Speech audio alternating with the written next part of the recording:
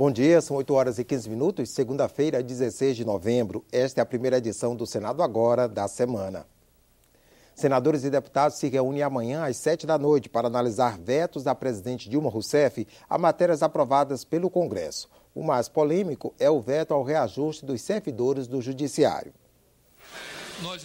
Os parlamentares têm pela frente uma pauta com 13 vetos e sete projetos de lei do Congresso Nacional.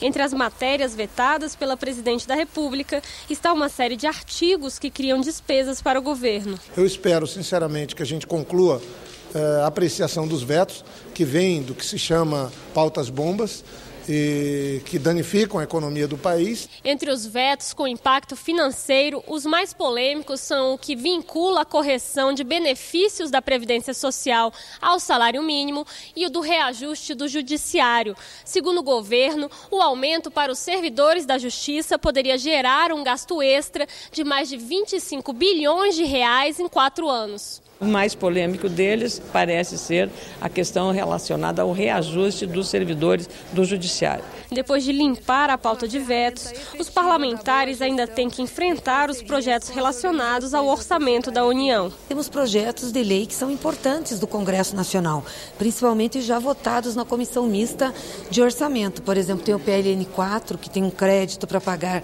restos a pagar, tem o PLN 32, que nós votamos agora na comissão mista, que trata do pagamento de royalties para os municípios.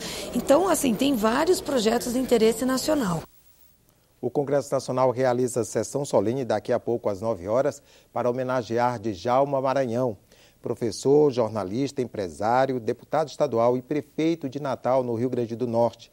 Dedicado a causas como a erradicação do analfabetismo, Djalma Maranhão foi preso após o golpe militar de 64. Exilado no Uruguai, veio a morrer em Montevidéu em 1971. E uma sessão especial no plenário do Senado comemora os 156 anos da Igreja Presbiteriana do Brasil e os 145 anos da instituição Mackenzie, ligada à igreja. Fundada pelo missionário norte-americano Asbel Simonton, a Igreja Presbiteriana é uma das primeiras igrejas protestantes organizadas no Brasil e está presente em todo o território nacional. Vamos conferir agora a previsão para o trabalho das comissões esta semana. Quem traz as informações ao vivo é o repórter Roberto Fragoso, da Rádio Senado. Bom dia, Roberto. Bom dia, André Ricardo. A Comissão de Constituição e Justiça deve votar na quarta-feira um projeto que muda o nome do programa Bolsa Família para Bolsa Escola, que é o seu nome original. O programa Bolsa Escola foi criado na década de 90 na cidade de Campinas e no Distrito Federal e assegurava o pagamento de uma bolsa para famílias carentes desde que as suas crianças estivessem matriculadas no ensino público. Para receber o dinheiro, os alunos deveriam cumprir alguns requisitos básicos, como comparecer a pelo menos 85% das aulas.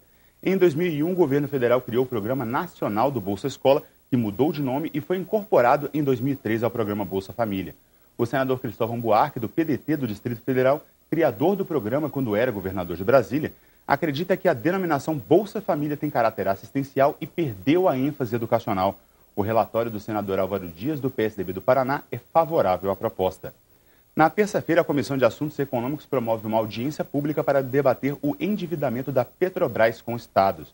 O senador Marcelo Crivella, do PRB do Rio de Janeiro, lembra que a estatal tem uma dívida com seu estado que soma 1, 1 bilhão e 600 milhões de reais e com o Amazonas de 600 milhões.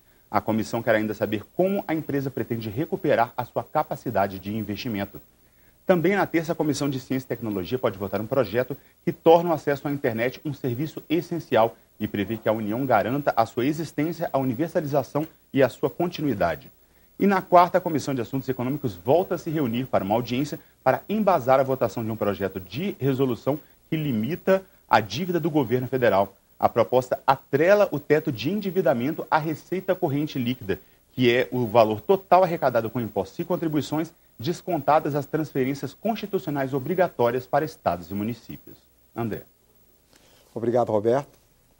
E nesta terça-feira, os senadores da Subcomissão Permanente de Acompanhamento do Setor de Mineração vão visitar a área atingida pela tragédia do rompimento da barragem de rejeitos de mineração em Mariana, Minas Gerais.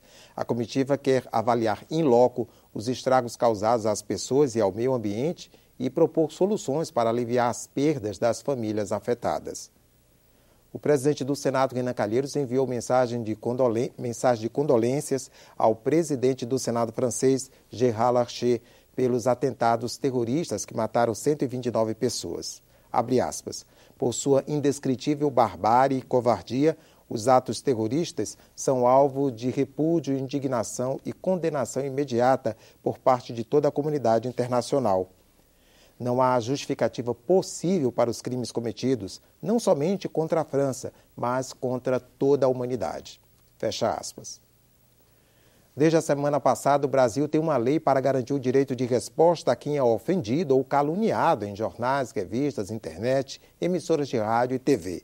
A reparação deve ser na mesma medida da matéria ofensiva. O projeto, que agora é lei, foi uma iniciativa do Senado.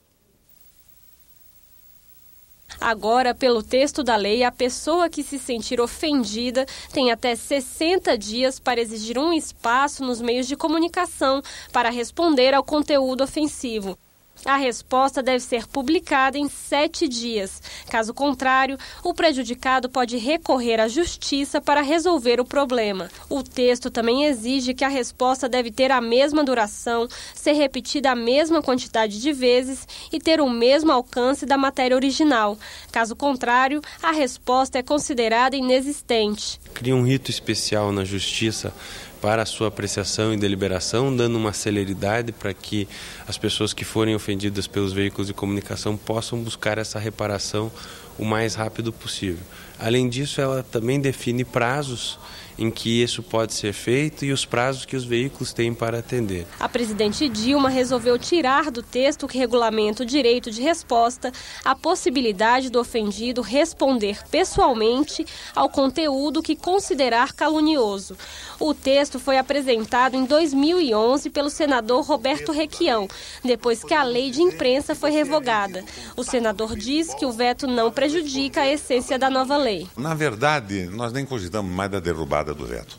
O próprio corpo da lei estabelece que o direito de resposta se dará da mesma forma que a agressão foi feita. Mas acredita que o veto foi uma decisão mal avaliada. Nós compramos uma luta democrática, enfrentamos as grandes redes de comunicação terá um preço para nós isso de retalhamento dessa gente toda. Para o autor do texto, o artigo vetado era uma forma de evitar que o meio de comunicação pudesse mudar o tom da resposta do ofendido. A senadora Ana Amélia, que é jornalista, não concorda. Não dá para você imaginar que uma emissora de televisão ou rádio vá é, tripudiar, ironizar ou criticar logo após a leitura de uma, de um, uma execução de sentença dessa natureza. Seria vir mais um direito de, de resposta, um terceiro, um quarto, um quinto, e seria um prejuízo para a emissora. As associações que representam os jornais, as emissoras de rádio e TV, são favoráveis ao veto, que ainda pode ser derrubado pelo Congresso Nacional. Mesmo assim, as duas associações a ANJ e a ABERT indicaram que vão receber, recorrer à justiça contra a nova lei do direito de resposta. Em nota, alegam que dois artigos são inconstitucionais por não permitirem que a defesa dos meios de comunicação seja feita em tempo hábil. Ficamos por aqui. No decorrer do dia você acompanha outras informações nos boletins do Senado agora. Enquanto isso, continue assistindo a nossa programação.